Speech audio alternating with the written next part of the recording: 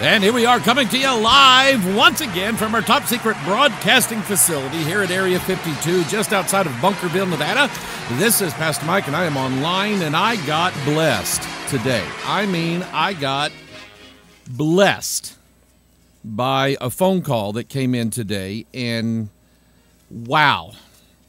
Um, I've been te- I've been telling people that the power of the word of God. And and the Bible says it the word is quick, which means it reads really fast. No, that's not what it means. The word quick means alive. And I would just ask you, what do you believe about your Bible? Is it alive or is it dead? And if you say that it's corrupted, um, one of our one of our friends just emailed me a little while ago, and he said that uh, somebody at a church told him that in the Luke rendering of the Lord's Prayer, I think it was for thine is the kingdom, the power, and the glory forever, amen. They told him that the King James translators added that and that it's not supported in the original manuscripts, which, of course, they don't have any of those original manuscripts.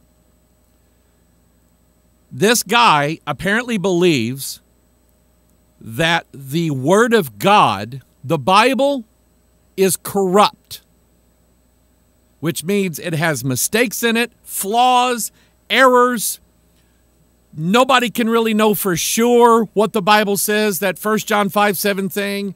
You don't have to believe that if you don't want to. It's okay. But that's not what the Bible says about itself. Show, show me the verse that says that the Bible is corrupt or will ever be corrupted. Show me where it will fall into disrepair. Show me where God never speaks any language other than Hebrew or Greek. Show me that one. And I'll show you verses that says God speaks all the language and the Holy Spirit gives utterance in other languages. So I believe the word of God is powerful. It's quick and powerful and sharper than any two-edged sword. You know what you know what all the other two-edged swords are? Go read Proverbs and find the strange woman in the book of Proverbs her mouth and her words are a sharp two edged sword. You know how you defeat Jezebel?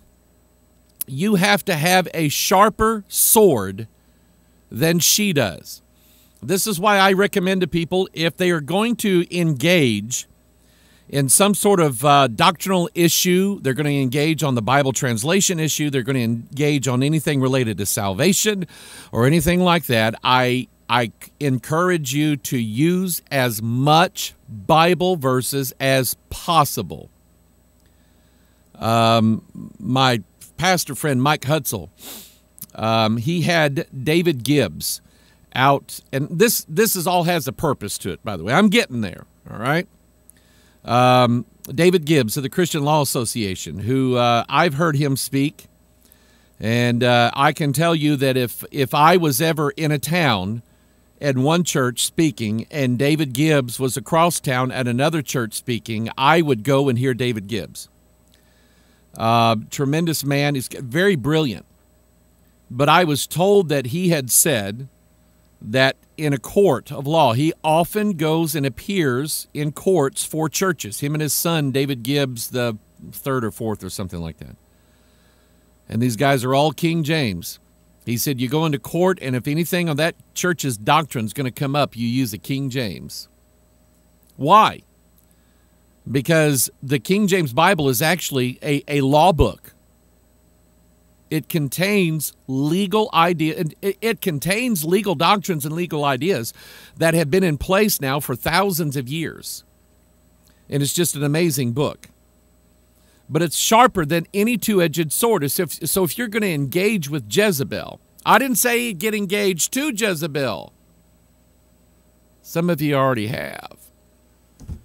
But if you're going to engage Jezebel in a conversation, You must use Scripture. Ask yourself the question how was Jezebel killed? How was she killed? Because she went and tired her hair. She put a she put a steel belted radial tire on her hair. And she dolled her face all up, painted it, used crack sealer around, you know, the edges and things like that. And then she went and said, Yoo-hoo. And I who was that? Jehu said, Who's on the Lord's side here? Come on. Need some fellas out here. Somebody needs somebody say amen. Two or three eunuchs. You know what that is? Two or three. Out of the mouth of two or three witnesses, let every word be established. Think about the two or three witnesses of the scripture Hebrew, Aramaic, and Greek. If any man speak in an unknown tongue, let it be by two or at the most three, and that by course, and then let one interpret. And those two or three eunuchs who were never in a million years going to be turned on by Jezebel picked her up as one man and tossed her out the window. I love that. If you're going to get into an argument with Jezebel, use as much scripture as you possibly. Do not count on and rely upon your own reasoning. Uh, nobody, if if somebody can listen to this, if somebody can change their mind based upon the words that you say, somebody else can come along and change their mind again. But I am I am living proof that once the word of God gets in you, you never go back. You never do. Um, anyway, and I said all that to say this. Uh, if you have watched last weekend's uh, meeting down in Harrison, Arkansas, I preached uh, Don't Sell Your Vineyard. Uh, I made mention of Pastor Reg Kelly. Uh, he is the first guy I ever heard preach that message 14 years ago in that same place behind that same pulpit. It literally, literally, God emboldened me with that with that message. We had that on CD.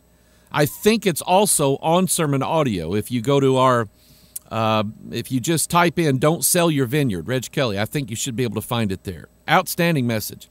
But God used that message to embolden me. Um, which, by the way, I am going to Pastor Kelly's church this Sunday. Sunday school, Sunday morning, Sunday night. He's graciously given me all three of those. I'm looking forward to it. Um, he just a, he's a good friend, and I have other good friends that are in the ministry. They don't all agree with Mike Hoggard. Mike Hoggard don't all agree with them. So what? We all use the King James Bible. But if you heard what I said in Harrison last weekend, that has also been posted. You'll know that I was encouraging pastors when you preach, give them Bible verses. Read one right after another. Give them long strings of scripture massive doses of the Word of God. If they need healing, he, the Bible says He sent His Word and healed them. And I'm just uh, I, I'm just somebody that God has put this in my heart to give Scripture, Scripture, Scripture, Scripture, because I think that's where all the answers are is in the Bible, in the Scripture. And I said all that to say this. I, I've told this story about the guy that goes into a laundromat, Roman Catholic, and he's on, on the folding table in this laundromat. Somebody has smeared Watchman video broadcast DVDs all over the top of that table. They just had them smeared up there. And he's look folding his clothes or something like that, and he's he's looking at them, and one of them grabs his attention. I don't know which one it was, so he picked it up, took it home, popped it in the DVD player, watched it, got back in his car, went back to the laundromat, grabbed the rest of the DVDs off that table that somebody had smeared all over the top of that table and took them home with no thought whatsoever about anybody else who might want them. No, I'm just kidding. And he watched all of them. And he sent word to our ministry and he said, I used to be Roman Catholic. He said, I'm not. I'm done. I'm out. I've asked God to save me. Amen. And you know what? Not because of the brilliant intelligence of Pastor Mike Hoggard has nothing to do with it. Doesn't have anything to do with my uh, amazing good looks. I promise you. Has nothing to do with um, the denominational ministry that we, no, we don't have that. It had everything to do with the words that God said going into this man's heart and and and reviving him from the dead works of sin. So I got a call this morning. And I tell that story every because it's just a, take the DVDs, get them from us or copy them yourselves and just start laying them everywhere. Now, I don't mean walk 12 miles out in the middle of the woods and drop one. Unless you, of course, know that that's where somebody's deer stand is. But get copies or make copies and pass them around, give them to people. Why? Brother Weldon called me this morning, and he is from Newfoundland, or as they say, Newfoundland. And he had a gathering last night of some people, and he popped in one of the DVDs. And uh, he told me it was uh, the one on the Bible translations. I've done like a hundred of those. Uh, I don't know which one it was. Maybe uh, which Bible you be the judge or something like that. Anyway, he popped that in, and everybody watched it. And he called. He called me to tell me this morning. Fifteen people were saved last night at this meeting. And he said most of these people already had different Bible translations. And he said they changed their mind last night. I, and I didn't do that. I take no credit for that whatsoever because that was the Word of God doing that. And if God is the one who changes your mind, then your mind is in fact changed. Um, Brother Weldon told me that him and his whole family had come out of the charismatic church. Why? Because the charismatic church emphasizes your words over anything else in the world. It's witchcraft. We're going to talk about that today. We're going to talk about witchcraft. But I wanted to share that with everybody and encourage you. Um, encourage people like Dave and Anna Bradley out there uh, passing out tracts, giving out copies of John and Romans, giving out tracts with Bible verses on them. Uh, he sent me an email after I had mentioned him. I think it was on Tuesday's broadcast. He sent me an email, and he said, "Hoggy," he said the uh, one of the cops that were asking what we were doing um, was looking at the tracks, and he said, "You guys Jehovah's Witness?" Said, no, no, no. And he said, "Okay, you're fine." Okay. Apparently, the Jehovah's Witness are just as annoying in Italy as they are in the United States of America.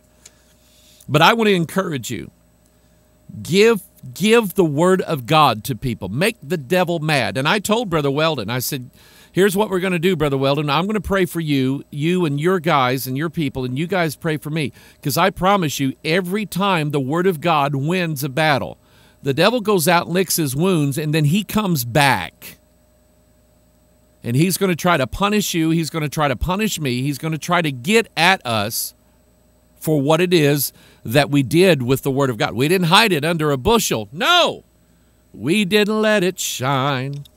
And so you pray for Brother Weldon out there in Newfoundland and pray for all those people that uh, came to the Lord last night. And you pray for the, the Word, pray that the, Lord, the Word of God will increase. All right. I appreciate him calling me on that.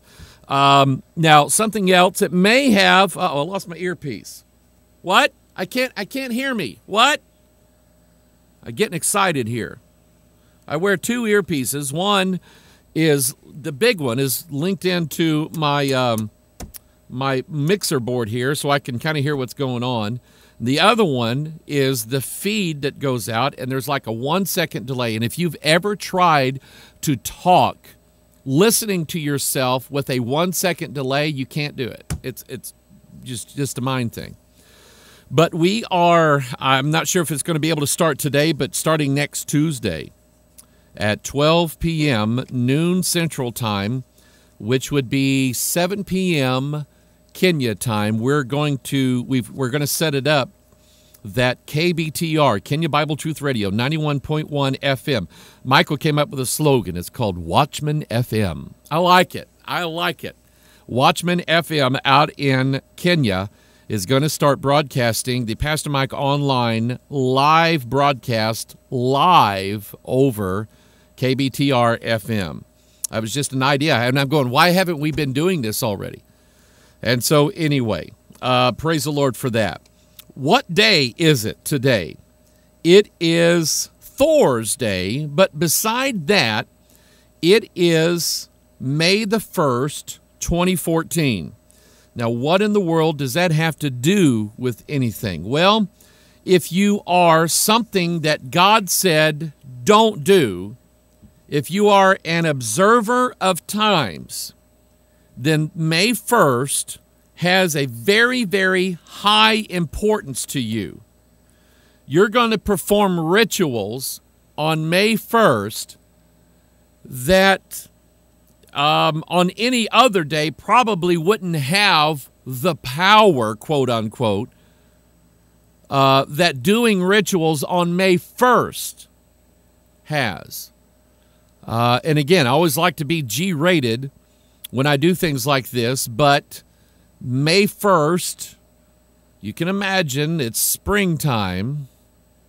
There are fertility rituals that are performed May 1st every year.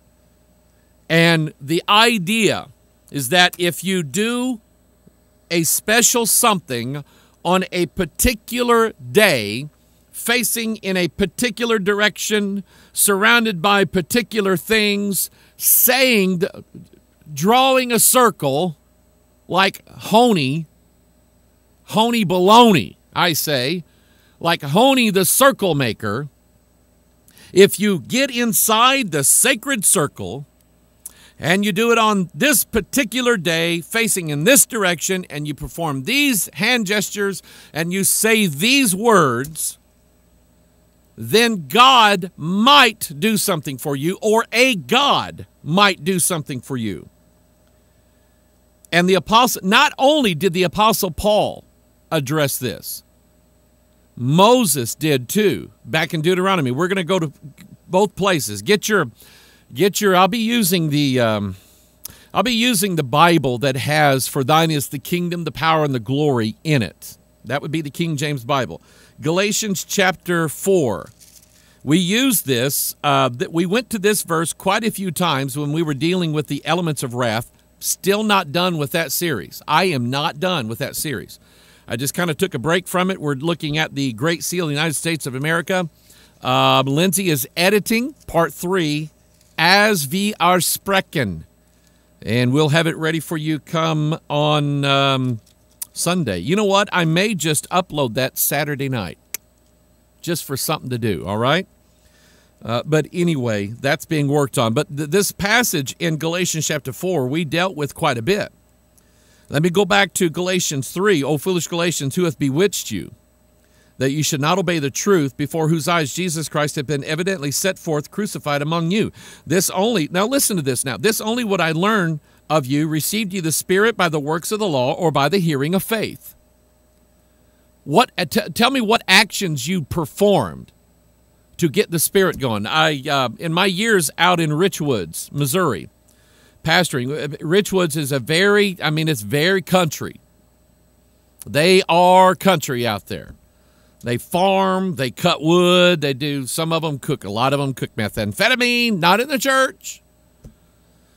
But in rural areas, think of, um, think of eastern Kentucky or East Tennessee or West Virginia. There are churches in these um, sparsely habitated or inhabited areas where some pretty wacky things going on. Uh, in talking to some of the people out at Richwoods, this goes back years ago. Uh, I just sort of got an understanding of how life goes out there, and there's basically some sort of Pentecostal church on just about every holler in and around Richwoods in Washington County. And um, one of my deacons was telling me, he said, he said in one particular church, he, he knew somebody that went and visited there. And he said, I ain't going back over there. He said he visited the church. He was invited. He visited the church, and all of a sudden, everybody got up and started running around the church. And I mean, inside the church in a circle. And he's just seeing, you know, it's like it's like a NASCAR thing, just and he's watching and he's going, "What in the world is going on here?" And the answer was, he asked somebody. He said, "We're racing in the Holy Spirit."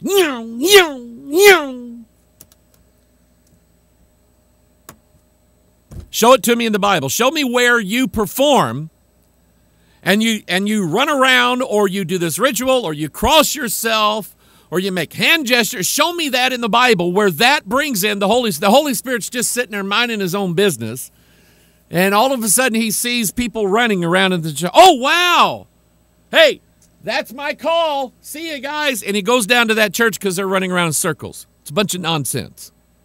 These people don't believe the Bible. They don't read it or they add to it. They think they have a right to. Foolish Galatians get bewitched because the Spirit does not come on a person by the works of the law, it does so by the Word of God.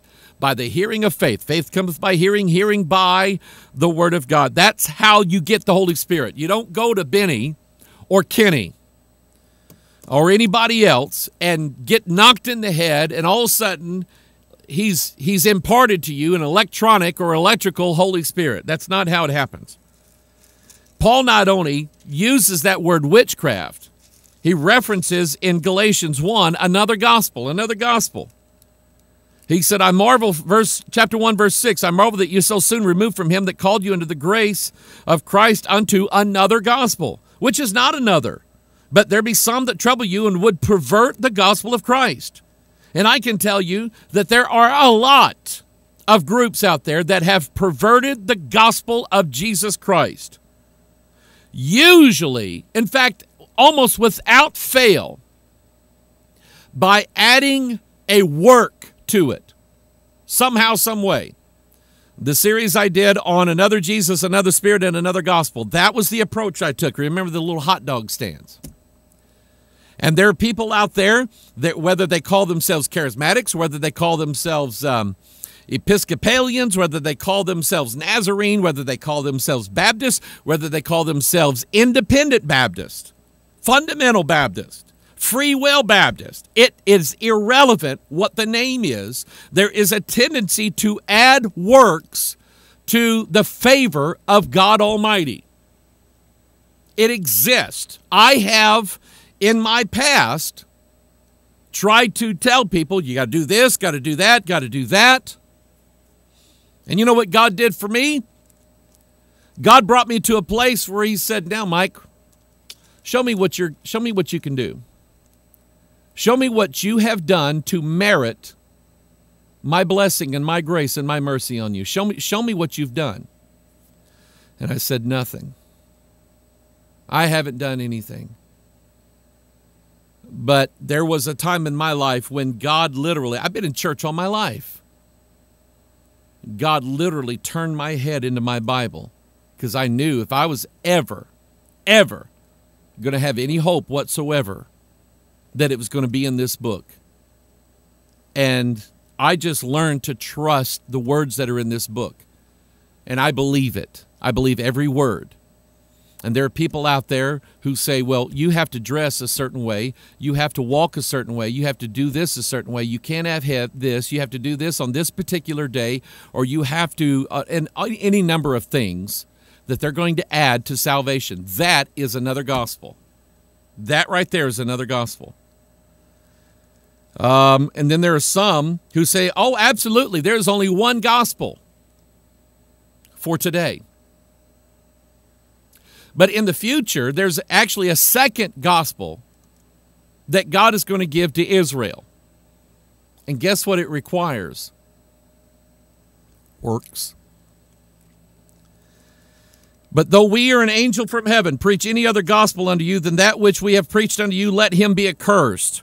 A lady, uh, lady talked to me yesterday, and she said that uh, the church that she, her and her husband used to go to they were recommending um, this guy who wrote 90 Minutes in Heaven. He died, he went to heaven, He took the grand tour. 90 minutes later, somebody revived him from the dead, and now he's writing for your love gift of $49.95 another gospel. You don't don't believe that stuff. Don't buy it. Don't buy the book. Don't buy this DVD. Don't buy the message that this man is selling. I don't trust it. I don't trust him. I don't I don't trust me. I've had dreams before. I have. I've had dreams where it it seemed to me that this was something from the Lord. I'm not discounting that it was or wasn't. I've written several of them down. I have them in a notebook one of which I can see God's work in it. But the other ones, I don't know if they're I don't know if they're true or not. I don't I have no idea. I don't trust if I told you all the dreams I had, and I've been asked by some people to share these. I'm not doing it. You know why? I don't want to mislead anybody because I don't trust me. But I'm telling you, don't trust this guy. There's something not right about this.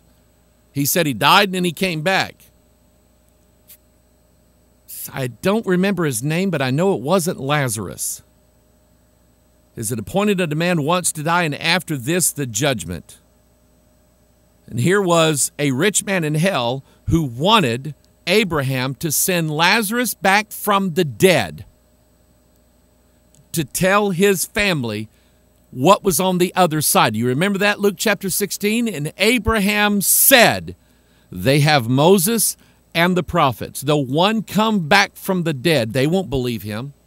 And by the way, Jesus was that one that actually did come back from the dead, and the Jews didn't believe him. Abraham was right. If it's not in the Bible, don't buy it, don't believe it. So then in Galatians chapter 4, Paul says in verse 9, But now after that ye have known God, or rather are known of God, how turn ye again to the weak and beggarly elements, earth, air, fire, and water? 1, 2, 3, 4. Just like Gospels, Matthew, Mark, Luke, John. Weak and beggarly elements, whereunto ye desire again to be in bondage. Ye observe days, months, times, and years. You have an observance of them.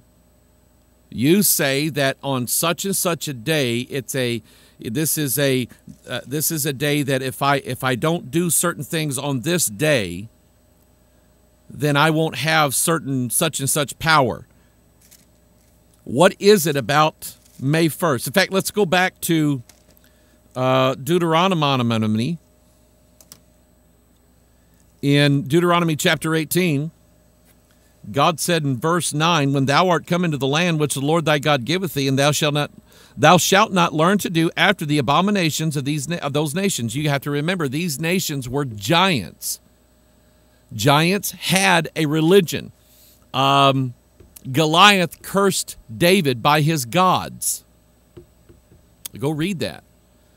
Um, the series I did on the giants, I was I was amazed. I think that all of this Babylon mystery religion thing that's floating around everywhere, all throughout the centuries, I think that originated with the giants. But anyway, God said, when you go into that land, don't learn to do after the abominations of those nations. Notice that don't learn to do. Don't find out their doctrine and don't learn it so that you can try it. Don't do it. Uh, lady told me one time in an email I was talking about this stuff, and I think I've mentioned this several times, but she said at church she was going to, the pastor's wife, Mrs. Jezebel herself, would take people uh, and and say we're going to have prayer time, and they would say now let's face north and west and south and east. Let's face all four of these directions and pray. I promise you, I promise you, had I been there, I would have either A, run out, or B, I would have stood as still as a statue and defied that, and then let her come unglued because I didn't perform the actions and the works and the do's. I didn't do that. God said, Don't learn to do after the abominations of these nations. There shall not be found among you any one that maketh his son or his daughter to pass through the fire, which is interesting because that's part of the Beltane service. Number two, or that useth divination, trying to gain knowledge by a supernatural source. That's what divination is. Or, third one out of the chute, an observer of times do not observe times. Do not be an observer of, well, it's this day and God only does it on this day and you have to do it on this day and this day and this day. Let me give you let me give you a 20th and 21st century example of an observer of times. Seventh-day Adventists and all of the all of the people related to that, which David Koresh David Koresh from the Branch Davidians See, the branch Davidian was an offshoot of the Seventh day Adventist that said, Do this, do this, do this while I sleep with your young daughters and your sons. That was going on in there. And I know we want to make the government a, a big enemy over what happened at the Branch Davidian compound, and I am I'm there. The government overstepped its boundaries by the Constitution in doing what they did at that at that complex compound. Will the government do it again? Absolutely. They're doing it at the Bundy Ranch. They're doing it everywhere else. But I am not showing any favor to David Koresh or anybody else.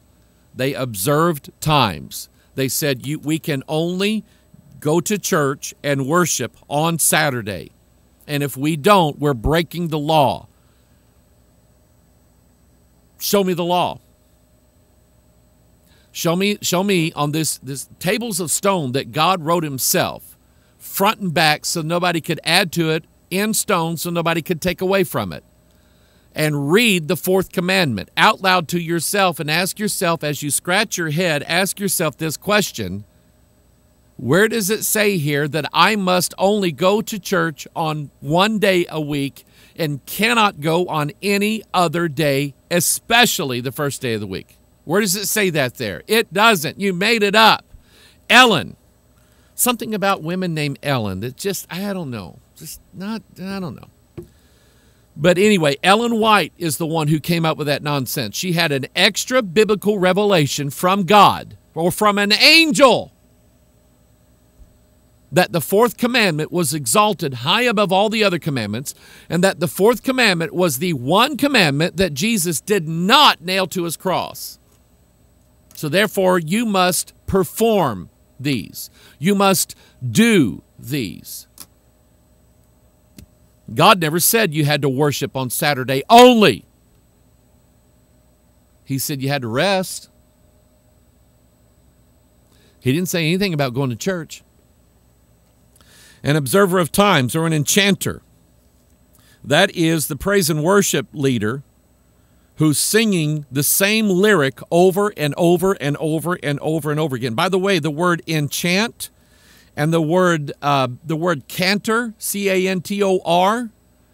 Um, these are this is uh, the the root of that is music. That's the root of enchanter or someone an incantation or a cantata. Those of you who know a little bit about music, you know what a cantata is it's a group of singers. Jesus said, Don't do it. Don't do the vain repetitions that the heathen do. Or a witch or a charmer. That also is related. Or a consulter with familiar spirits. That is contemplative prayer. Or a wizard. Or a necromancer. That is Benny Hinn, who feels um, the uh, she he feels um, who is it? I believe in miracles. What I can't remember her name. Anyway, he he he was introduced to the Holy Spirit by her at her gravesite. Todd Bentley's mistress, now wife, said that she had a she had a dream and Oral Roberts showed up in this dream. He had already died and was prophesying to her. That's a necromancer. Perry Stone. Perry Stone did a show where he and his father are talking about this guy that died and they saw this guy in a dream or a vision and he was saying all kinds of things to them and they were they were oh hallelujah praise god woo yeah. Now you can get this particular book that goes with that for only $49 that's necromancy. So are you saying perry stone is a witch? He's a necromancer. He claims to have had received knowledge and, and visions of a man that had been dead for years. That's necromancy. Nothing in the Bible. There is nothing in the Bible that tells us, as Bible believing Christians, that we can expect to see dead people come to us and tell us things. Doesn't exist. Back to Beltane. It's an observance of times. It is. Um, let me let me kind of do it this way. In in witchcraft, in paganism, in the New Age, in all these other things, they believe that on certain days, these are high holy days. You have the vernal equinox, which is March 21st. It is the day when there's 12 hours in the day and 12 hours in the night. It's all even Steven there. The next one, these are the, the highest, the four highest. The next one is called the summer solstice. That is the longest day of the year. Um, and then you have the uh, autumnal equinox in autumn. There again, you have the days that are 12 hours in the day, 12 hours in the night. Then you get to the winter solstice, the shortest day of the year. So those are your four quarter days that pagans, witches, everybody else who follows after this stuff believes that there's more power on these days than there is any other any other day and God said don't do that. There is no more power on one day than there is in the other. Now, I agree with what Paul of course I agree with what Paul said. Paul said it. He was talking about those that regard a day. And there are some there are some, I admit there are some people who choose to have their worship day on the Sabbath day, on Saturday. I'm all for it. I am all for it. As long as they understand that it is, they are not trying to keep, well, how can I say this? As long as they know that we are saved and blessed by grace alone through faith. But if anybody says, well, God does more things for us on the Sabbath than he does any other day, uh, read show me that in the scriptures. They're wrong. But if people voluntarily choose to worship God on Saturday as their as their day, I'm all for it. Um, and Paul said, He that regardeth a day regardeth it unto the Lord, but he that regardeth all days to the Lord he is regarding all days. I, I would, would tickle me to death if we had church six days a week, not seven. Why? Why not seven? Somebody's got to rest here. Anyway, God said don't do this. So we have the they have the vernal and autumnal equinox. Then we have the opposites of the summer and the winter solstice. Solstice. Solstice. Anyway, and then you have what's called the cross quarter days between the winter solstice, December 21st, and March 21st. About halfway through there is a day called Candlemas. That is February the 2nd, Groundhog Day. That is the 33rd day of the year. Then between the vernal equinox, spring, March 21st, and the summer solstice, you have April 30th slash May 1st as a cross quarter day in between those two, which is um, which is Beltane. That's what that's what this is today. Um, let's see here. You have uh, Samhain between the vernal uh, the autumnal equinox, August 21st and December 21st. Samhain, Samhain, it looks looks like Halloween. is one of those days. And so on these particular days, you can expect the pagans and the witches and all these other people in the world doing this kind of stuff. Now, here's what I'm going to ask you what, what do you commonly associate with what they call May Day, May 1st? A lot of people, uh, Kay was telling me about that somebody invited her to a barbecue years ago. Oh, yeah, no, they didn't invite her. I got this wrong. They were talking about they're going to this barbecue and this party on May 1st. Well, yeah, it sound like fun. You, can I go? No, you really wouldn't like it. No, no, I love barbecue. I love having a little fun with people. You know, kind of, you know. No, you can't go. And, and she pressed him and she said, Kate, you don't understand you won't like it here. And I know we're friends and I know you're a Christian, but there's something you're going to know about me sooner or later. I'm a witch. And I I'm going to get with my witches and we're going to do witch stuff on witch day. This is what we're going to do. And Beltane, which is what the day is called, by the way, what does that name mean? And I was reading different articles about the etymology of Beltane, but you know which one I like? I don't know if anybody else thinks this way. It's got Baal's name in it. Bel. Go look that up in the scripture. It's got Baal's name in it. It's his day. But people associate it with a maypole, um, I'm going to read some. Here's the Wikipedia article on Beltane. Uh, it's the Gaelic May Day Festival. And here's, let me read this here. Beltane is mentioned in some of the earliest Irish literature, which that's new to me. I didn't know I didn't know the Irish could write. Just kidding, just kidding. Uh, Irish literature is associated with important events in Irish mythology. It marked the beginning of summer and was when cattle were driven out to the summer pastures. Rituals were performed to protect the cattle, crops, and people and to encourage growth. Listen to this one now. God specifically mentioned this in Deuteronomy 18. Don't make your children pass through the fire.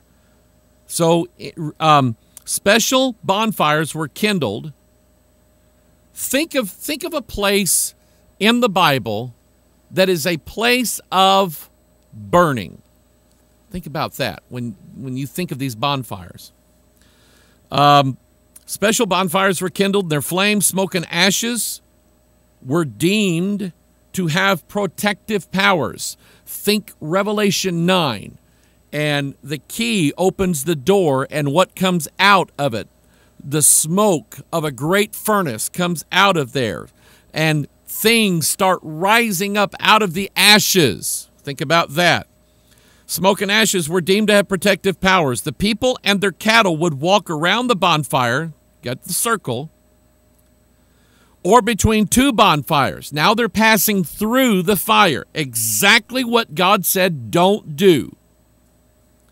So they're passing between the fires and sometimes leap over the flames or embers. All household fires would be doused and then relit from the Beltane bonfire. Now, that concept reaches out uh, and is associated with other ideas. The U.S. Capitol building, you know, with that big dome, is actually modeled after the temple of the goddess Vesta, V E S T A. Have you ever heard of a vestibule? Um, the Vesta was the goddess of the fireplace. Because, here we go, watch this now. Because usually the fireplace was in the center of the home back then so that it could heat and radiate out the entire home. And so Vesta was the goddess of the hearth or the fireplace. And there's something about some kind of secret that's in that fire. Think about that. That's what the Capitol building was designed after. But anyway, they, they worship this sacred fire. It's sort of like the Native Americans or the First Nations up in Canada. They cleanse themselves with what? You ever seen them do this cleansing ritual? They got the fire going. They get over there by the fire and they take that hand and put it in the smoke and go. They're cleaning their body with soot. It doesn't make any sense to me. That's not clean. But that's what they do. They worship this fire. It's a sacred fire, it's a holy fire, um, which I think is a, a, a symbol of hell fire. So they, they light the Beltane fires, they put out the old flame in their in their uh, fireplaces and they relight it with this Beltane fire. That's, you know what? Read James about the tongue and how it sets the whole world on fire. Doors, windows, byres, and cattle themselves would be decorated with yellow mayflowers, perhaps because they evoked fire. Think of, a, think of how a flower would look like a flame. Now, watch this. Here we, here we go. Here we go. In parts of Ireland, people would make a May bush. Now, I'm going to show you a picture of what a May bush is. All right? Take a look at that. Isn't that pretty? It's gorgeous. Right now, all of the flowering trees in the state of Missouri are just, they're almost in full blossom. It's absolutely amazing. To look at this, you would look at that and say, man, that's pretty. Wow, that is absolutely, oh, I just love that. That's the Maybush. What you may not comprehend, you would never probably see it from just looking at it from this angle. But that Maybush, the flowers and the leaves on that Maybush are concealing something. They're concealing the fact that that bush is loaded with thorns. You would never know it. See, the flowers, the beauty of it on the outside conceals the sting that's on the inside. Let's let's go to sola scriptura. Let's go to the King James Bible. Here's what we're going to do. Let's just do a little study. This and, and and I could have already done this. I could have already Hogger, you want you to print that stuff out and you can read it quicker. Because I'm going to teach you how to do it yourself. Give a man a fish, and he will eat for a day.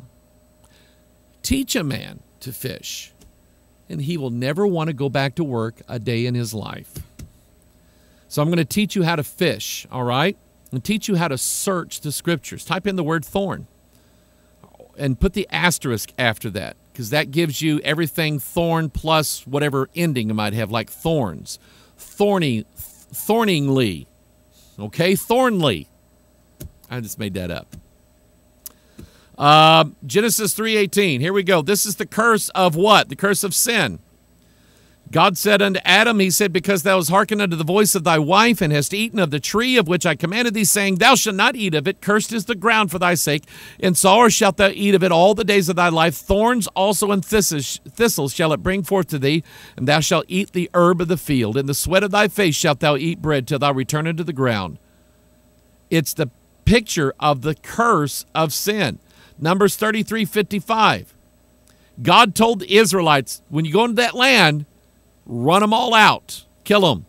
But he says in verse 55 But if you will not drive out the inhabitants of the land from before you, then it shall come to pass that, that those which you let remain of them shall be pricks in your eyes and thorns in your sides. Think of someone who had thorns sticking down in their eyes in the Bible. We get there thorns in your sides, and shall vex you in the land wherein you dwell. The inhabitants, those giants that were there, God said they're going to be thorns in your sides. It's the curse of disobedience to God. Joshua 23 13, the same thing. But they shall be snares and traps unto you, and scourges in your sides, and thorns in your eyes. This is whenever you see something symbolically, like with a thorn or a rose, the rose conceals the thorn. That's why the rose is a powerful image in the occult. It conceals the thorn. And so we're learning what the thorn is.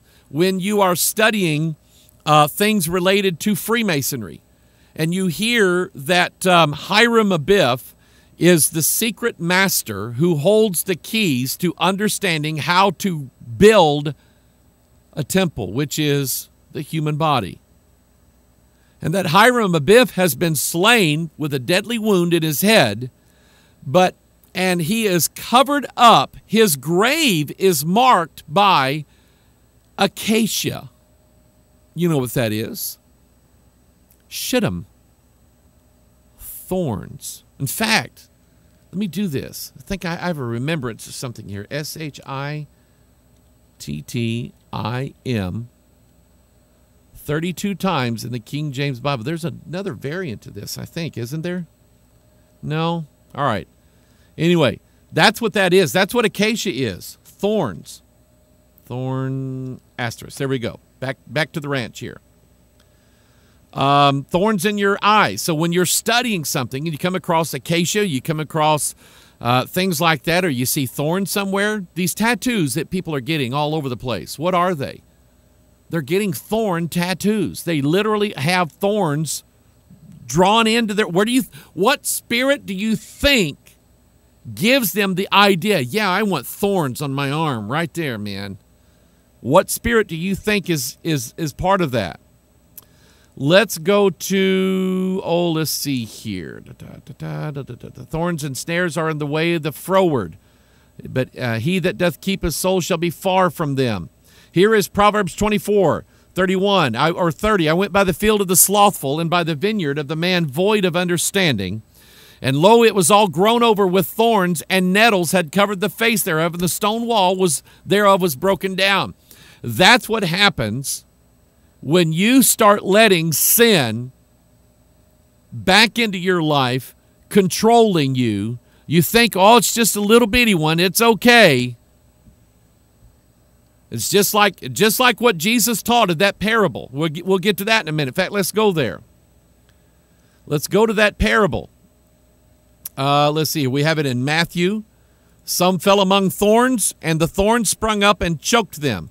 He tells you the meaning of it. He also that receives seed among the thorns is he that heareth the word, and the cares of this world and the deceitfulness of riches choke the word, and he becometh unfruitful. Down in Mark, he uh, he says it like this: uh, Those that uh, which are sown among thorns, such as hear the word, and the cares of this world, and the deceitfulness of riches, and here we go, the lusts of other things. What do we lust after? Money, power, esteem, prestige, houses, women, men. Those are the things we lust after. The things that our eyes look upon and we go, Ooh, I want that. That's covetousness. And the lust of the flesh, where we desire things that God said, no, you can't do that. And we have those thorns in us. And here is the here is the seed of the word of God going into somebody's life. And they they they they like it. They say, "Yeah, I'll I'll be a Christian." But the thorns choke out the word. Is it let me, let me I'll just run this by you is it a is it is a is it a mark that someone is unsaved because they have a thorn? No. Well, how can you say that, pastor? Paul did.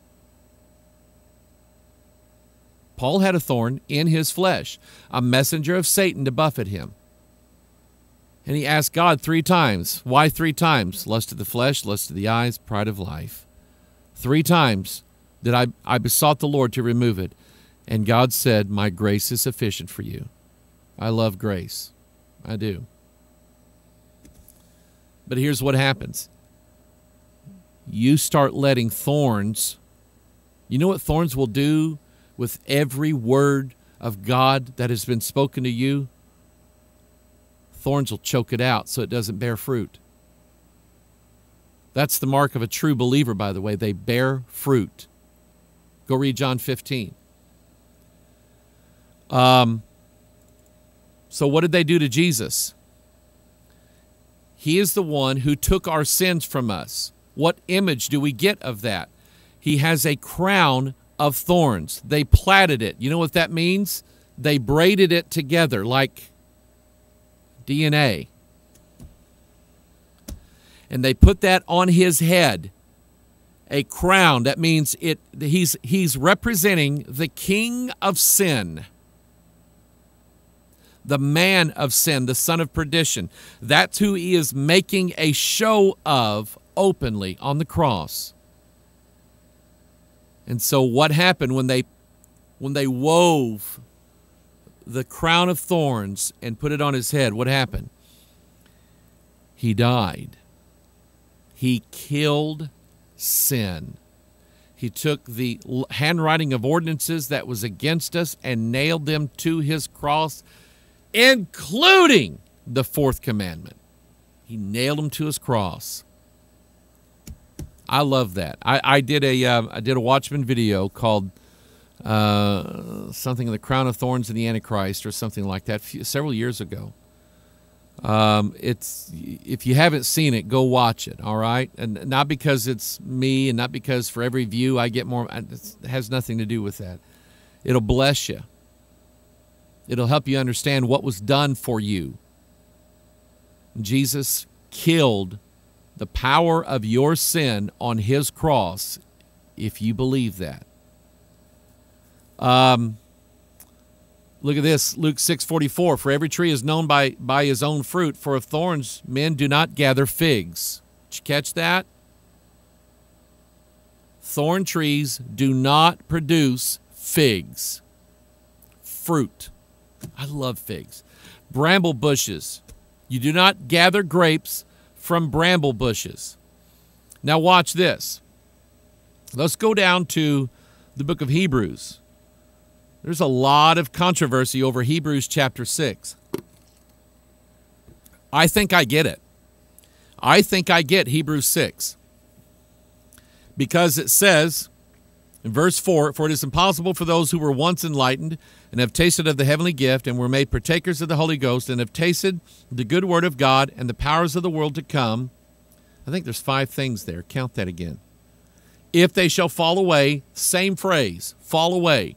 Look at things that fall in the Bible. Go to the plain of Dura and see them falling away. Second Thessalonians 2, there's a falling away first. If they shall fall away, to renew them again under repentance, seeing they crucified themselves the Son of God afresh and put him to an open shame. Now, this verse, oh, I did the wrong thing here. This passage is argued over um, immensely. I think it's better rather than to argue over a passage. Why don't we just all believe the passage and believe and and understand that there are things that it says and things that it doesn't say. And I find it interesting that in Hebrews 6, it never says that it is impossible. Let's see, for, let's see, where am I? Hebrews 6. Here we go. I'll get back here. For it is impossible for those who were, it mentions enlightened, tasted the gift, made partakers of the Holy Ghost, tasted the good word of God, and the powers of the world to come it's interesting to me that it doesn't actually mention that they were saved. Because I, I, I've, I've read the scriptures on this issue. I looked and, and looked at every place in my using this soft this software right here.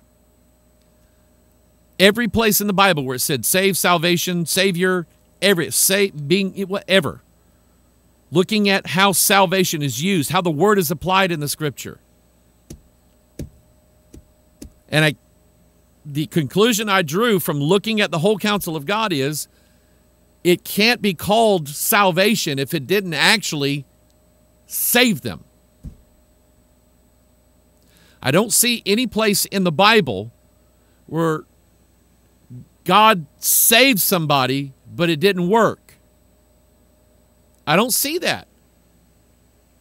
And it doesn't mention that here. It does, however, coincide with the parable that we just looked at. because there are four groups in that parable. Three of them die and go to hell. How do I know that? They didn't bear any fruit. And that's what Jesus said. If it doesn't bear fruit, cut it down, cast it in the fire. That's what the husbandman does. But the, the wayside people, they don't bear any fruit because the devil came and ate the word up as soon as it was there. The stony ground people, they don't bear any fruit either because they went to church, they went to a revival meeting, they went down to the altar. They said, Yeah, I, I think I want to go to heaven. I want Jesus to be my Savior. You believe John 3.16? Absolutely. So they, they, they get up thinking, okay, this is it. And then the preacher preaches something right from the Bible, and they go, That's stupid. I don't believe that. That's a bunch of baloney. I ain't buying that for a second. Well, you know that's the word of God. Yeah, but men wrote that wrote that stuff. That that was that was back then. I don't believe that stuff. That's stony ground. Gone. That is, they tasted the good word of God. They were had had the enlightenment, a limited enlightenment of their sin. They believed like one verse, but they wouldn't let it go any further than that. You start dealing with issues in people's lives from the Bible about how we're to live and how we're to, how we're to be in our marriages. Women, women who will not regard their place in the home and in the family and in the church. Men, likewise, who will not do what they're commanded to do by God that is, love their wife unconditionally. They're going to believe parts of the Bible, then they're going to believe all of it. Stony ground. Then we have the thorny ground people. And if you and if you look at look at the whole of Hebrews 6 if they shall fall away to renew them again unto repentance seeing they crucified themselves the son of God afresh and put into an open chain for the earth which drinketh in the rain that cometh oft upon it and bringeth forth herbs meet for them by whom it is dressed receiveth blessing from God but that which beareth thorns and briers is rejected and is nigh unto cursing you see the two words blessing and cursing in that passage? If it bears fruit, it's blessed because God blessed it and said, Be what? Fruitful and multiply. The blessing of God is, and blessing is a salvation word. You're blessed, you are going to go to heaven. But if you're cursed, it's because the thorns came in and choked out the word that you tasted. That's what I see here. To me, it, it just makes sense. Anyway, that's what thorns represent. Um, so let me go back to this thing. Here's here's that. Here is the May Day hedgerow. Does that ring a bell with any of you former headbangers out there? The the epitome of what rock and roll music is all about. Is a song done by Led Zeppelin called Stairway to Heaven. Everybody who knows rock and roll knows Stairway to Heaven. Young young boys who pick up a guitar for the first time, what's the first song they want to learn? Smoke on the Water and then Stairway to Heaven. Stairway to Heaven uh, you can go read this. Uh, Jimmy Page, Robert Plant, those are the two guys I think responsible for this. Can't remember which one it was. It was Page or Plant that moved into Aleister Crowley's house, the Boleskine house. Moved into it. Why? Because Crowley had built it to be aligned in a certain way so that his most darkest ceremonial witchcraft could be performed by observing signs and seasons and times and directions. And he basically said that it was he was trying to write the lyrics down to this song. He just all of a sudden his his hand went up, pencil in hand, and his hand started writing these words. If there's a bustle in your hedgerow, don't be alarmed now. It's just the spring clean for the May Queen. What is the May Queen? But anyway, you get the idea here that at Beltane, they decorate these flowering bushes, the May bushes, and the May bushes conceal the thorn. There's there's a thorn in there. Think of the uh, the the Exorcist, Damien Thorn. See these young ladies here? They represent the May Queen. The May Queen is the fertility goddess. The May Queen is Mystery Babylon the Great, the mother of harlots. Think about it. I, I have never, I never, in all the years of public school, we never went outside on May 1st to dance around a maypole. But I am hearing, that was, of course, that would be the 70s. I am hearing now that parents are finding out that their children on May 1st set up a gigantic tower, a pole, and danced around it. But they won't let your child wear a t-shirt with John 3:16 on it. Wait, we have to keep religion separate now from our schools. The May Queen is performing a ritual.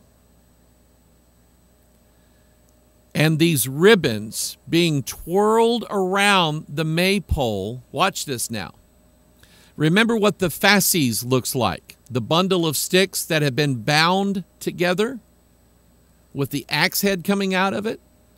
You have the same concept here. You have the maypole which is a represent it's it's Baal's shaft, an obelisk. That's what it's called, obelisk, and it's got the name of Baal in it, Bel. Um, so does Beltane. So the maypole is essentially an image of the procreative part of Baal and the May Queens are concealing it by wrapping it up in something in a spiral fashion. By the way, when they do the maypole dance, what geometric shape are they making? Are they making a square? Are they making a polyhedron, a decahedron? Are they making an octagon? they're making a circle. Just like Honi the phony dancing in his circle, drawing in his circle so that you can, uh, on this particular day, if you draw the circle and do the ritual, then the cows are going to have more cattle and the corn is going to produce better and mama's going to have another baby. Hang on to this one. Do, do the math on it. If May 1st is a fertility ritual, I'm just going to stop right there. When would the baby be born? Probably on February the 2nd. That would be nine months later. Okay? Just thought I'd throw that in. Anyway, that's what they're doing. And it dawned on me years ago. I put this in the Babel conspiracy video in the book that I did. It dawned on me that those ribbons looked an awful lot like the DNA strands. And think about think about what we have. We have this thorn in us.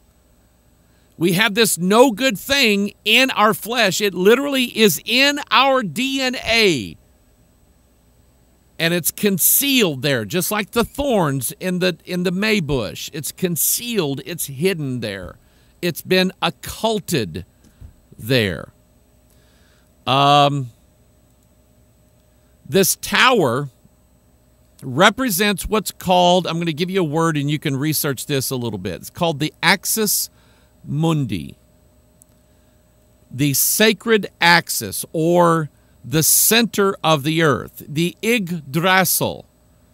Um, it seems like that was mentioned in a movie. What movie was that? Was that Captain America or something like that?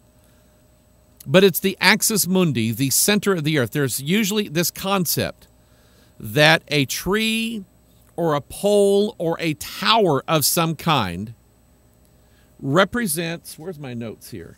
Represents what the entire rest of the world and the universe revolves around. The axis mundi is is uh, here, in fact here do this. Think of the 12 tribes of Israel camping in the wilderness and what's in the middle of them? The tabernacle, the temple. And the the uh, the pillar of cloud, the glory of God resting upon the mercy seat in the in the most holy place. All right? So think about that. See think about God being the center of his people. Think about what Jesus said.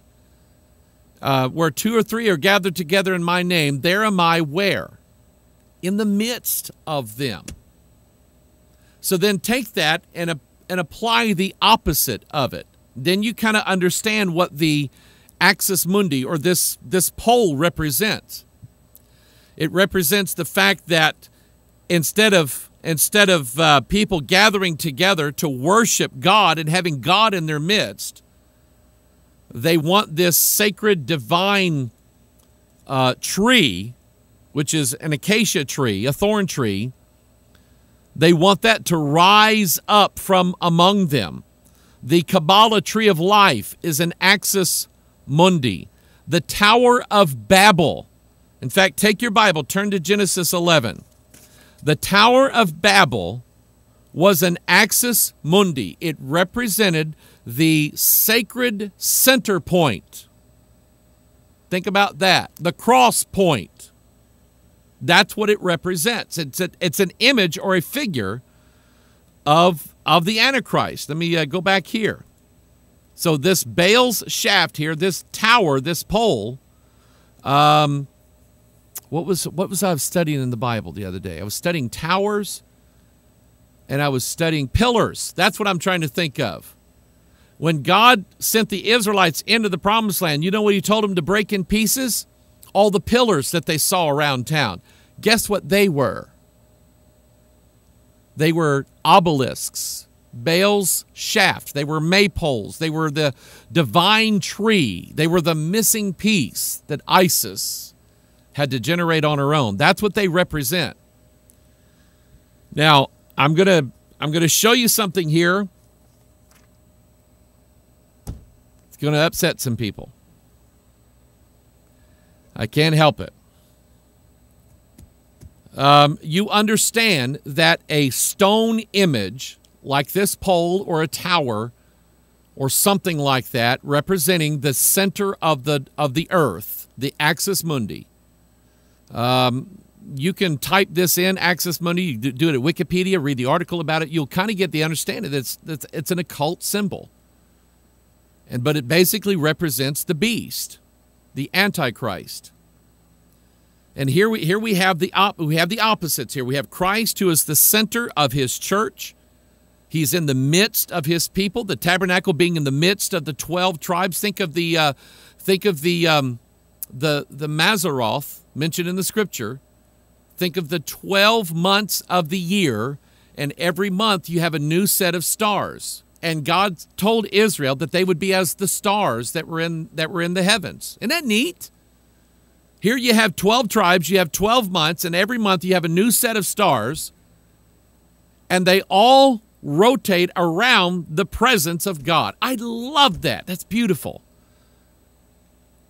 So think of Christ and think of Antichrist. What are some of the symbols for the Antichrist? Let me show you here. Hang on here. Let me show you one of the symbols for the Antichrist. Where is it? Where is it? Where is it? Here. What can I do? Like right there. That's one of the symbols for the Antichrist. Are you with me? Charles Taze Russell. You know who he was? Charles Taze Russell was the founder of the Jehovah's Witness cult. Charles Taze Russell wrote a book called The Divine Plan of the Ages. God's plan for the ages. Brady was very familiar with this book. I asked Brady about it, and he said, Yep, that was Taze Russell. Taze Russell in the divine, God's divine plan for the ages, Charles Taze Russell put forth the idea. Brady called Brady was talking to me one time about what they call progressive revelation. The idea that God has a new truth for certain at certain times. That's one of the mainstays of the Jehovah's Witness. That's what gave them credence. Here's Charles Taze Russell. He belongs to a, a church and he doesn't like what they're saying about hell. So he decides that he's going to change that and alter that. And in order to do that, he's got to convince the people that are listening to him that that although that might have been true way back then, it is no longer true now. So Taze Russell developed this idea that God had this different revelation or this different truth for the time that he was in now that was totally different from these ages past. You already get a copy. You can go to books.google.com and get a copy of Charles Taze Russell's book, The Divine Plan of the Ages, and you'll see it in there. And he he issued this book, The Divine Plan of the Ages. Then he got a hold of some information about the Great Pyramid of Egypt. And Charles Taze Russell was so fascinated by this book or by these concepts of the Great Pyramid that Taze Russell um, republished his book, The Divine Plan of the Ages, and he featured the, the Great Pyramid as sort of the focal point of his, of his new doctrine and he said that that God and God's people. Uh, there were several different theories. One said that Methuselah built the Great Pyramid. One theory says that Enoch built it. Um, different ones floating around. All these, there were several scholars in the 1800s that were trying to put forth this idea that the Great Pyramid was actually the altar mentioned and the pillar mentioned in Isaiah chapter 19 in the in the land of Egypt? I don't think so. I don't think so. Not on your life. But that's what that's what was going around in the 1800s. Taze Russell picked up on this and wrote a new chapter in his book, The Divine Plan of the Ages, where he focused on what he saw as divine proof of his progressive revelation theory. That in, in back in Bible times, yes, they taught about hell. And so every place in the Bible now that you see mentioning hell like being on fire and it's all this bad thing and you're there forever suffering, all of those things you see in the Bible, they don't apply anymore. Not in this time frame. See the word ages here? Not in this age. And he, he drew a chart in here. This is from the divine plan of the ages and he mentions the pyramid as being the axis mundi, the center of the earth. By the way, Taze Russell believed in this so much that at his graveside, he ordered, if I remember this right, he ordered that after they bury him, he actually drew the design out that they put a pyramid at the end of his gravesite as a memorial to his doctrine. And you just go to Google Images and type in Charles Taze Russell Pyramid, and you'll find a picture of it. Taze Russell was, he believed that the proof of his theory was seen in the Great Pyramid. And he referred to it as the axis mundi, the divine center, the center of the earth. If you get a copy of the Divine Plan of the Ages, as shown in the Great Pyramid, from it's a free download. It's one of those books that have it's old books expired to copyright, but you can get a PDF of it. You'll find charts in there that show that the Great Pyramid is at the. It actually says um, at the same time the uh, the Great Pyramid in the center is what this says. And here's the map here. He actually got it from another source, but he included it in his book that the Great Pyramid is the Axis Mundi. This was written in the 1880s. This is what Clarence Larkin published in 1920. Same idea, same concept. The Axis Mundi is also seen represented by Jacob's ladder. This is, this is we're still dealing with the maypole and what it represents. The axis mundi, let me let me go back to this here. The axis mundi is the connection between earth and heaven. And the whole concept of a pyramid is that this connection between man and God or earth and heaven is done in progressions, levels. You see what I'm saying here? Go ask Freemasons what they believe in. Why do they have 33 degrees? Why do they have 13 degrees in the York Rite? Why do they have 90 degrees in the Memphis Mizraim ritual of Freemasonry? Can you just show up to the lodge and say, I want to be a Mason, give me my 32, 33 pin? No. You've got to go through the Blue Lodge. You got to go through the degrees. You have to perform the rituals. You have to have, watch this now. Freemasonry actually teaches that there is a high level secret at the top that those down here would never know until they walked the steps of the pyramid. And as they get higher and higher and higher by levels and rituals and initiations, then the true secret of the plan, the great work, can be revealed to them. That's where Taze Russell got it from. Let me contrast that with Bible Christianity. Bible Christianity says you go before God and ask God to save you, and He saves you.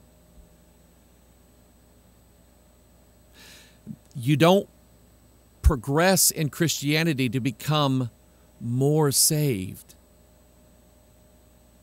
You don't progress in Christianity to get to a higher level than others. That's not scriptural. Jesus told the parable about the guy paying the people working in his field. They all got paid the same. I've been with people on their deathbed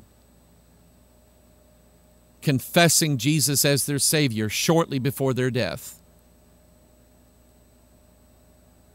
Why would why would and I'm asking a, a, rhetorical question, but the answer is there is no scriptural answer, or there is there is not the answer that some people say there is. One woman in particular dying of cancer, and I went to her. She was my neighbor. I grew up around here in her neighborhood, knew her, knew her all my life. And I said, I'm not really good at this, but I have an obligation and I said, I'm going to be dead right honest with you. You're about to die. You need to know where you're going. Brady and Bradley's dad, Keith, they called me to the ER. He was having a lot of he was having a lot of chest pains. He was having trouble breathing. So I went to the ER, visited with them, and they were afraid that he had cancer. And so they finally checked him into a room. They were going to keep him overnight. They did all the chest x rays and the CT scans and everything like that. And when we got to the room, I told Brady and Bradley, I said, "Once you guys split, go get lunch. Let me talk to your dad alone." And they they agreed that was a, probably the best idea. And I went in that room, that hospital room, alone with Keith, and I said, "Keith, I'm going to be dead honest with you. I'm not going to play games with you. I like you. I love you, and I love them boys." But Keith, it sounds to me like you're pretty sick, and we don't know what's going on. But you may not live very long. And I said, Keith, if you died today, where would you go? He said, I'd go to hell. I said, God can change that for you. And that man got saved in that hospital room just a few months before he died. In fact, right when we got done praying, he was wiping tears from his eyes. And I said, Keith, are you saved? He said, Yeah, I know it too. Right when he said that, the doctor came in and told him he had cancer. I've been in church almost all of my life preached thousands of sermons, straight Sunday school attendance. I go to the house of God. I read the Bible. I make DVDs. I do this. I do that. I don't think for a second that I get anything different than Keith Crum. And I wouldn't accept it if I did. It's not biblical. But that's where that came from. The worship of this of this progressive revelation connection between earth and heaven. Let me show you this graphic here, what it, what it really is. Jacob's ladder is said to be the ladder that connects earth with heaven. Here's a rendition of it here. It's DNA, people. Go back to the go back to the maypole. You're dealing with the same thing. You're dealing with the axis mundi, the ladder that will take you to heaven, that will, that will elevate you so that you can be a God. That's what that axis mundi is. Here's another representation of it. In fact, let's do this. Here we have the pyramid, we have the levels. There's 13 here, 72 stones, and Horus, the capstone. Just read the King James Bible. He's Jesus is not the capstone. He is the foundation cornerstone, head of the corner of the foundation. He is not the capstone of a pyramid. That is not what your King James Bible says. You know who says that? The NIV translates it capstone. Jesus Christ, Jesus Christ being the chief capstone. That's what years ago convinced me that the NIV was something other than the Holy Bible. Because I knew what that was. And I knew it wasn't God. And they said that Jesus is that all seeing eye there, the capstone. And I went, that's an abomination. By the way, so does Larkin. Larkin actually retranslates the King James Bible for you because it's not good enough for him. And he retranslates it by telling you that Jesus Christ is actually the capstone, what should be on the top of the unfinished pyramid. Doesn't that doesn't that cause any alarm to go off? Down at the bottom, you have a date, 1776. That, that should ring a bell, shouldn't it? The Freedom Tower. Oh, by the way, look at this. It's a pyramid. It's actually, here we go. You ready? The, the Freedom Tower, which is what they built in place of the two World Trade Towers, you can see part of the, the old footprint right here. A new one rising up in its place. The Freedom Tower is two pyramids interlocked and connected with each other. Here's if you if you count the sides, you have one, two, three, four, and then on the other side you have five, six, seven, and eight. You have eight parts here where you have these this pyramid and its four sides pointing up and this pyramid and its four sides pointing down. By the way, I have a graphic. Uh, I don't know if I could find it.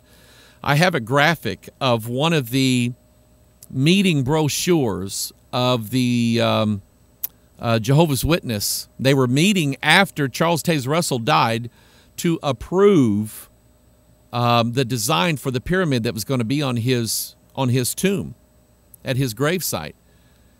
And on the front of this particular booklet, they have two pyramids, one from here, one from heaven, one from the earth, touching one another in the center point. That's what the Freedom Tower is. It's a representation of that. This is an axis mundi. This is the center of the earth where earth connects with heaven, and it's exactly 1,776 feet tall. Exactly. So, what is that based on? Well, they said, you know, that's the formation of the United States of America. There was something else that happened. You know who this guy is? Adam Weishaupt. He's a German. He was a, actually, he could have been Pope because he's a Jesuit. He was a Jesuit priest who some say he left the Catholic Church, left the Jesuit order. I, uh, maybe on the outside he did. You know how some people say once saved, always saved? When you're in the Illuminati, you're once a Jesuit, always a Jesuit, unless you're Alberto Rivera. Uh, do the math on May 1st. May 1st is the 121st day of the year. That's 11 times 11. Let's let's take that concept. Let's go back to the story of a tower. Genesis chapter 11. The whole earth was of one language and of one speech, and it came to pass as they journeyed from the east that they found a plain in the land of Shinar, and they dwelt there. And they said one to another, Go to, let us make brick and burn them throughly. Who is it that builds with bricks? Masons do, don't they? In fact, you read some Masonic literature, they'll tell you Masonry can trace its uh, its um, its order and its origins all the way back to the Tower of Babel.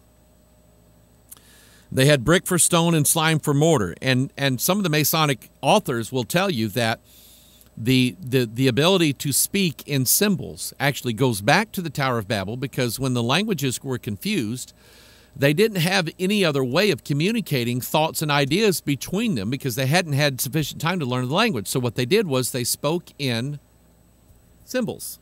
Okay? You saw a guy walking around uh, uh, the city of Babylon going like this, and you go, I sprechen that Deutsch right there. Go to, let us make brick and burn them throughly. And they had brick for stone and slime they had for mortar. And they said, Go to, let us build us a city and a tower whose top may reach unto heaven. You see it? You see that? This is your axis mundi right here. They believed that a physical tower represented Earth's connection with heaven. That's what they believe. Now, here's what we're going to do.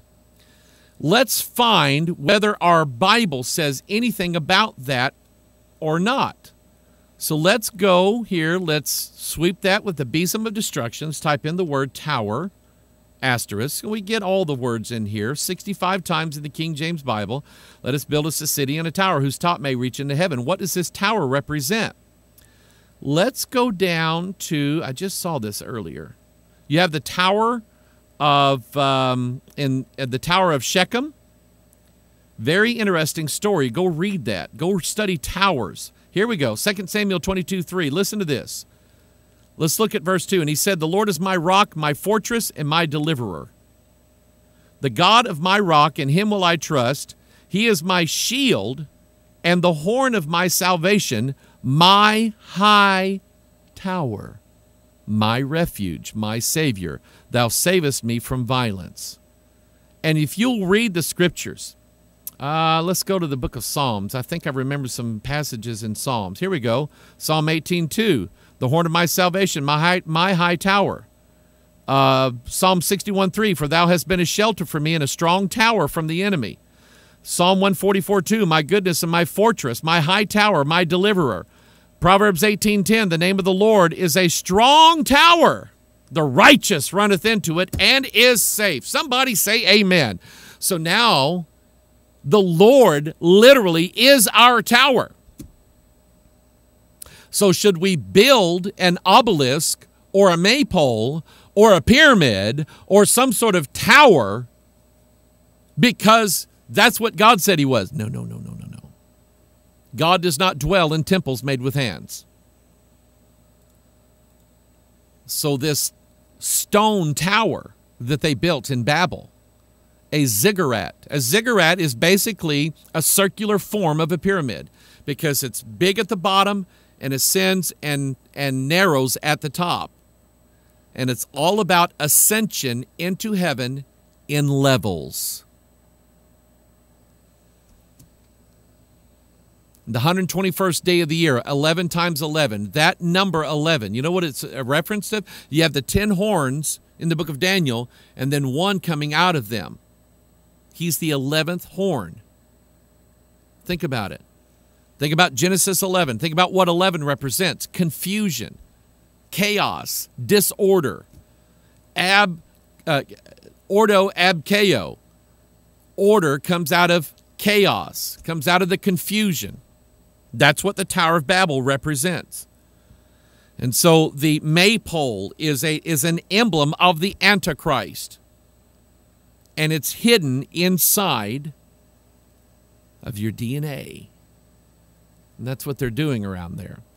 Let's look at some things that happened on May 1st in this is today in history.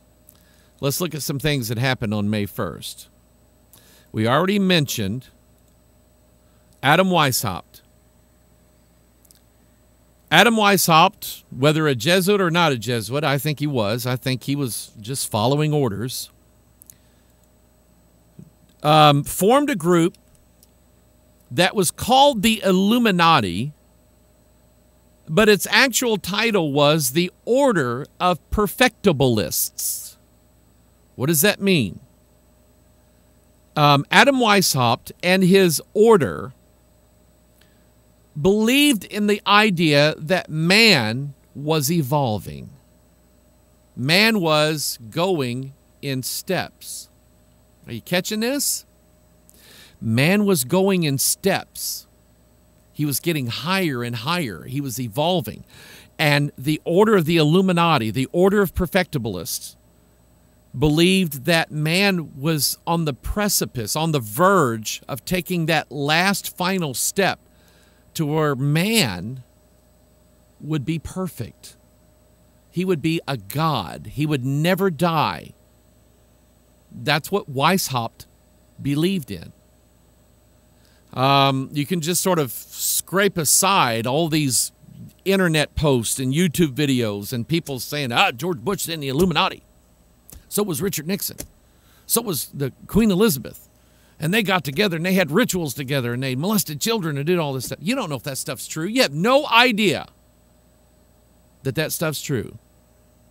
But here's what you can know you can know that there actually was historically a secret society formed for one reason that was to bring people into an, an illumination where their eyes would be open and they would be as gods knowing good and evil. That's what the Illuminati was all about. And it was formed on May 1st, 1776, the 100, 121st day of the year, 11 times 11. Here's something else. I, some of this I just found out today. You know what that is? That's the Empire State Building. A tower who's at the time the tallest building in the world at that time, much less New York City. When the World Trade Centers fell on September 11th, um, I was watching Fox News, and one of the commentators said the Empire State Building has now once again become the tallest building in New York City. And the um, Empire State Building was dedicated May 1st, 1931. May 1st. I don't have my, where's my music? My iPad was dead. That's why I don't have my dun dun dun. May 1st. So you get this idea. This tower, whose top may reach into heaven, was dedicated on the 121st day of the year, 11 times 11. Here's something else you I didn't know until two hours ago. The very first humanist manifesto was printed May 1st, 1933. Dun, dun, dun! You know what? I've been charging this. We just we just got to have the Illuminati music. All right? So hang on here. Let me do this. I'll plug it in. We'll get the Illuminati music going. We just got to have it. Hang on here. I'll do that, and I'll do that. Here we go. All right, ready? The Illuminati music. What happened to it? Where's my Illuminati music? Are we on? Yeah, here we go. I don't know what's going on here. It won't work. Hmm. That makes me sad. Anyway, Humanist Manifesto. You know what the Humanist Manifesto is all about? You are a God. Religion has destroyed this world. We want to eliminate religion on the world. We want a new order of humanism where humans and they and humanism is strong evolution because humanism believes that that humans are achieving their own deity status, their own godhead through levels. That's what evolution is. It's levels. I, am just going to ask you: Do you believe in levels of salvation? Because if you do, mm-mm. I, I got some words that I want to say, but I'm I'm just gonna show me the Bible. Show me show me in the scripture where you are above some other people as far as your relationship to God. You're either saved by grace or not, and that grace is always unmerited grace. And if you think that you've merited more favor than other people, you're wrong. I people will will call here or they will talk to me or they will send an email pastor will you pray for me? I sure will. I sure will. And i'm honored by that. I'm blessed by that. And if i see the email and i read it i usually stop right then and pray for them and for their needs um, and and I, I, I don't want to dissuade people from doing this because I, I love the connection and the fellowship that, that we have when you ask me to pray for you. But I want to tell you that if, if you think that God's going to hear me first over you, because you think I'm some, oh, I'm, oh, I'm so close to God, I will tell you very kindly and lovingly that you are you're incorrect. If you have children, you love all your children. Now, you may love them in a slightly different way and for different reasons. There's certain things you love about them. But as far as what you're willing to do, you love your children all the same. And that's how God sees us. He hath concluded all under sin. So I, I mean I I'm not any better than anybody else. May 1st, 1933, Humanist Manifesto. George Bush decides to go out to the USS Abraham Lincoln, whose, uh, whose number, whose Navy number is 72. Check it out. Okay? That's going to be on an upcoming Watchman. He decides to go, and it just, it just, it stunned me. Because I, you know, you hear on the news. Here's here's GW. He's flying uh, one of these F-15 fighters, going to land on a carrier F-15. I don't know. I don't know what it was. He go lands out on this aircraft carrier, the USS Abraham Lincoln, naval designation 72, and he has to on May 1st tell everybody that they won the war in Iraq. No, they didn't. And everybody knows it. We went fighting it for four more years, five more years, still fighting it. Had to be on May 1st for him to announce this. You remember who this woman is? She's the DC madam. She is the woman in Washington, D.C., that had a little black book with lots and lots of very powerful people's names in it.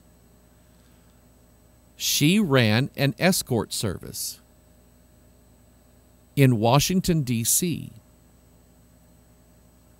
And if you if you think that all of our politicians up there are just good guys, faithful to their wives, good family men, you're wrong. The extent of immorality that exists in in centers of political power is staggering. And it's and if, just think about this, if you are a visiting businessman lobbying a member of Congress, or you are an incoming um, uh, head of state or something like that, or something, you, you have some sort of influence somewhere, you go to Washington, D.C., I guarantee you somebody, in order to curry favor with you, is going to hook you up. And that's what her job was. She was the hookup lady. Did she know a lot? I believe she did. And there must have been something that she wasn't going to play along with because now all of a sudden the feds have her arrested. They're going to throw the book at her. And she lets them know, she lets everybody know that if they go through with this, prosecuting her and convicting her, she's going to start spilling the beans names are going to be named. She was, I don't care much for Alex Jones, but she was on Alex Jones' show before her guilty verdict came down. And he asked her specifically, Got any plans on killing yourself anytime soon? She said, Absolutely not. I'm going to fight this until the very end. So on May 1st, there she was hanging with one sleeve rolled up and one sleeve rolled down. Boy, I wish my music would work. Where's my music? Come on. Come on now. Here we go. Let's try this again. Ah, I don't know what's wrong here. Won't work. Anyway, then you remember this one? May 1st, 2011, eight years after mission accomplished. It had to be on May 1st. We've killed Osama bin I killed Osama bin Laden barehanded. Yep, that was all me. That's what I did. So, usually on certain days of the year, February the 2nd, May 1st, October 31st, June 21st. I'm not losing any sleep over things, but I'm always curious as to what is going to happen on days like that. I'm always curious because when you work for the devil, you perform rituals. That's what you do. Because the devil, I mean, I mentioned Aleister Crowley and his Boleskine house.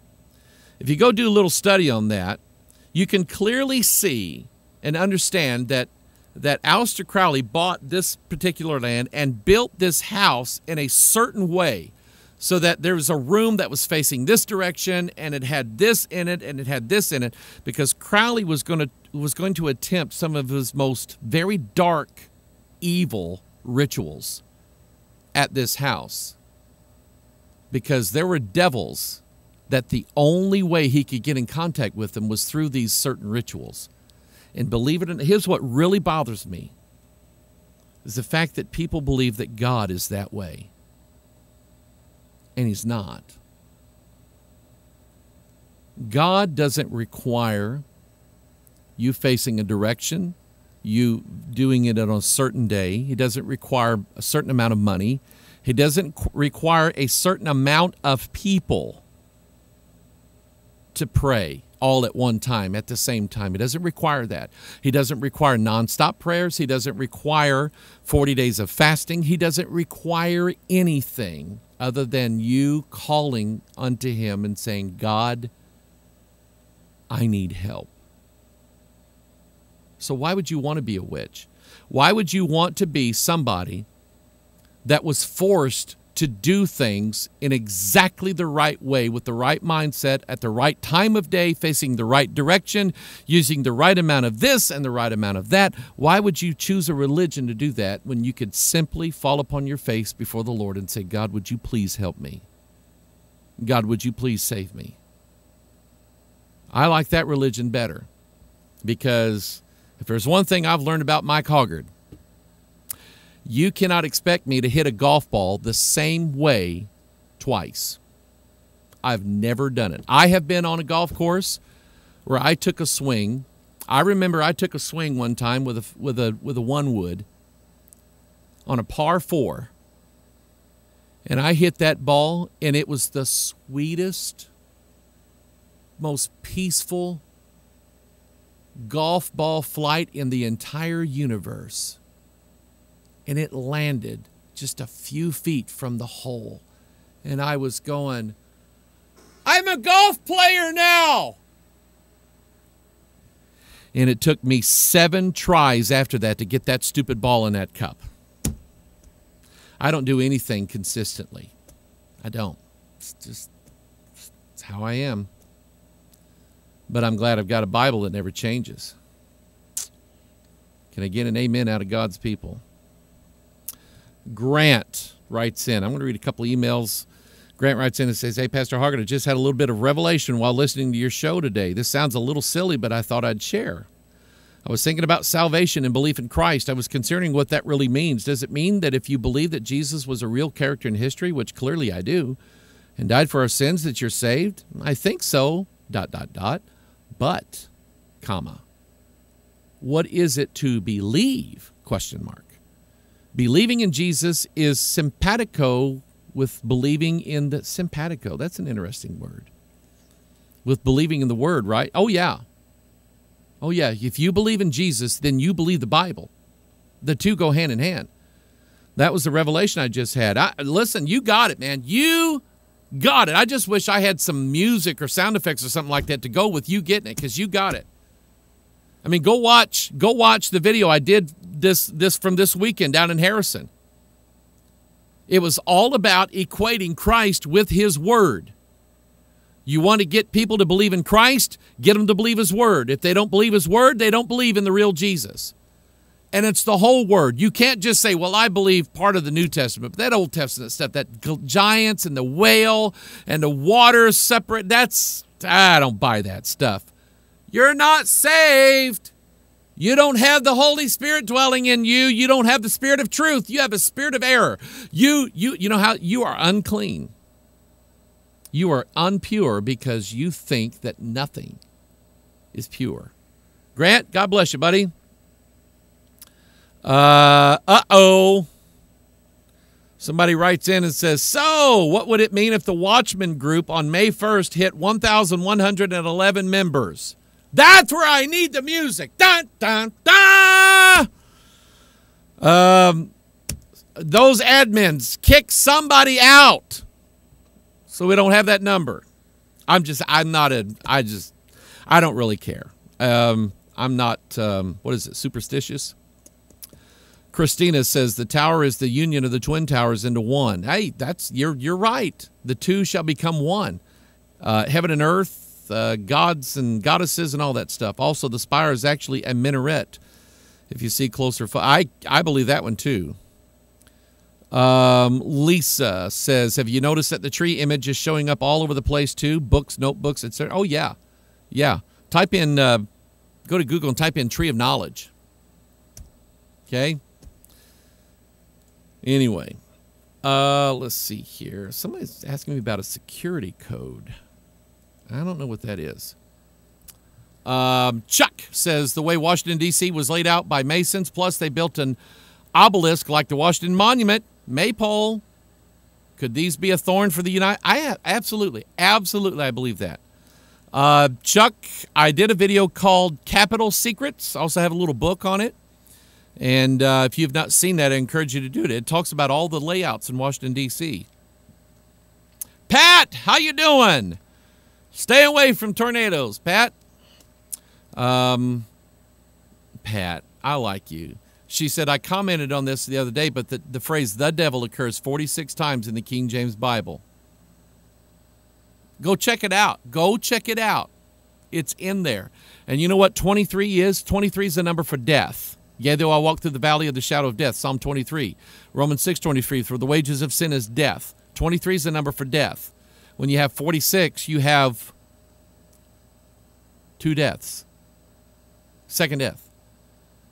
And the phrase the devil, 46 times, when you go read the 46 occurrence of the phrase the devil, you find that he's thrown into the lake of fire.